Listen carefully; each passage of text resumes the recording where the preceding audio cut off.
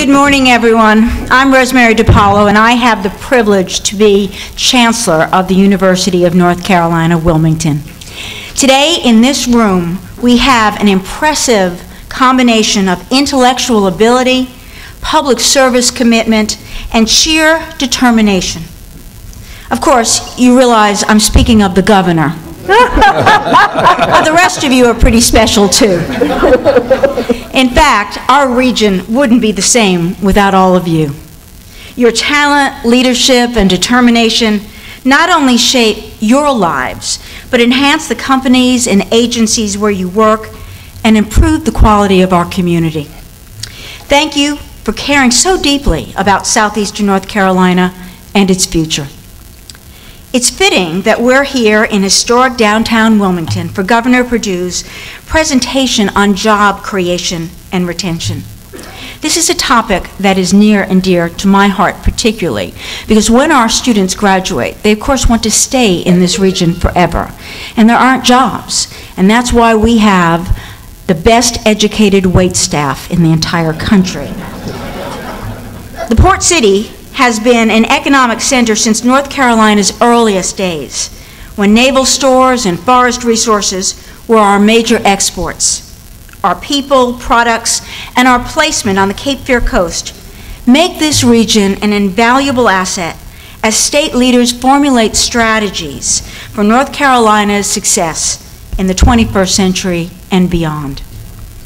I know you all join me in looking forward to learning more about those strategies from Governor Beverly Eaves Perdue, a dedicated public servant who has championed education, job creation, and health care services throughout her distinguished career in government.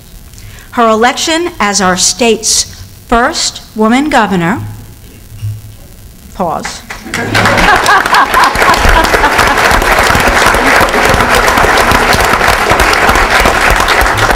is the culmination of two decades of service as a state legislator and as lieutenant governor. Governor Perdue enthusiastically supports numerous ideas, programs, and services that directly benefit the Cape Fear region, including the film industry, entrepreneurship, and small business development. She understands that our region, like the entire state, must have diverse sources of economic opportunity to achieve significant success. She advocates environmental stewardship and sustainable use of our natural resources. The governor promotes biotechnology and green business innovation. As the work of the researchers at UNCW has shown, these areas have the potential to transform lives, not to mention create new jobs and unlock new sources of revenue. Governor Perdue excels at encouraging and enhancing partnerships at all level of government. Her work with the U.S. military to preserve and protect its investment in North Carolina and to enhance our state's service to military personnel and their families is absolutely essential to this region's growth in the years to come. Of course, as Chancellor of UNCW, I personally appreciate her unwavering support and commitment to education at all levels. We share a steadfast confidence in the power of education to change lives. Education is opportunity, pure and simple. Education is economic development, is jobs. And the more powerful the education, the better the opportunities. That's why she expects and supports excellence at UNCW and at universities, community colleges, and schools across this great state.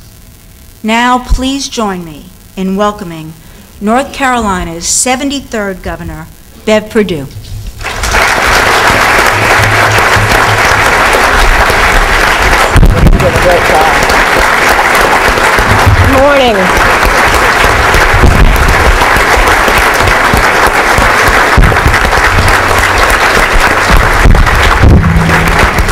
Morning. I'm honored to be here with all of you at this power breakfast, the power meeting. I've done it once before. I'm not going to take the time to call out the names of these fabulous leaders here for the administration because each of them will speak in, in a minute and introduce themselves to you.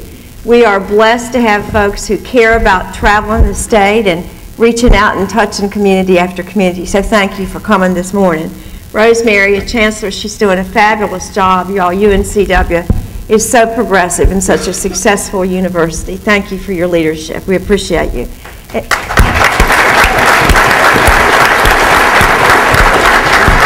And I think uh, Representative uh, Danny McComas came in. I'm not sure. He and I co-chaired the Port Study Commission years ago. As you all know, I represented for several years uh, one of the two ports, and I look forward very quickly to being here aboard this port and then to see, we're going to actually fly over the Brunswick proposal today, uh, and I hope to have a tour there sometime this spring.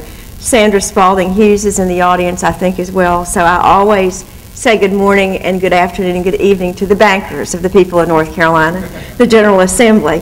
And my mayor is here, Bill Saffo. I don't know where you are, but he is doing a great job from Wilmington.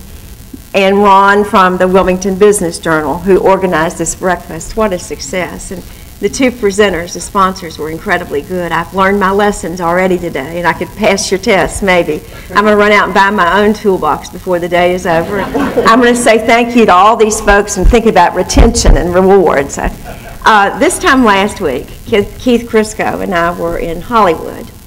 We went to tour the film studios and to meet with every major studio in America.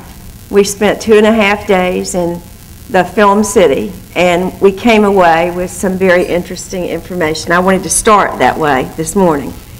We found out that North Carolina's 25% tax, a cash incentive credit from last year that many of us worked so hard to pass because many of us understand that in this state, around the Wilmington area, we have the strongest presence of film and motion pictures and television production on the East Coast. I think we are Hollywood East, quite frankly. And it was our intention last summer to make sure that we once again re regained our position as Hollywood East. And instead, after two and a half days, we realized that what we've done still has tremendous issues.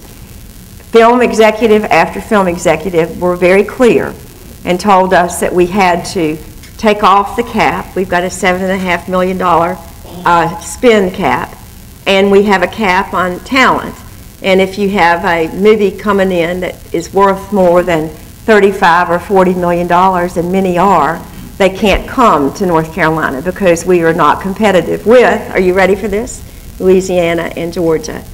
We were told by one studio that in Louisiana now, if you looked in the parking lot of all the films that are being produced, you would see at least half of the car tags in the parking lot belonging to North Carolinians because our trained workforce have followed the film production.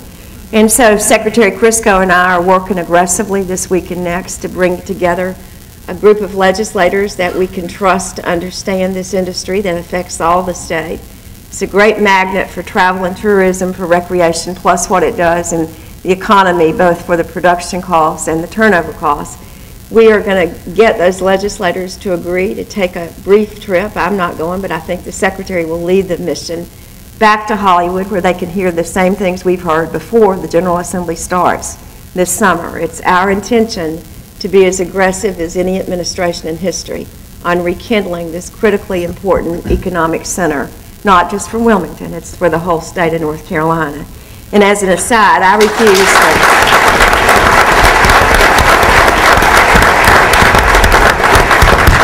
I refused to lose another money, movie to Sonny Perdue. That was an embarrassing day right down here in Wilmington for me, and we're going to fix that, aren't we, Keith? We're going to, with a little help from the legislature.